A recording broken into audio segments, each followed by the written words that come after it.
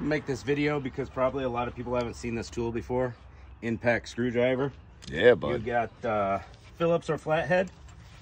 And when you run into one that's really super tight, like boat motors, that's where this guy comes in handy. You just hit the back, just holding slight pressure, and it breaks it free. You guys see that? It looked like it showed up pretty well on camera there. It's an impact hammer. They're like, You push it and it gives it a slight turn every time. so mechanics know about these tools, but everyday people might not. So we thought we'd feature it. It's like 15 bucks for the whole set at Harbor Freight. Right here. This is the Harbor Freight one. Real cheap. Super effective. It's like fire versus grass Pokemon. You know, it works.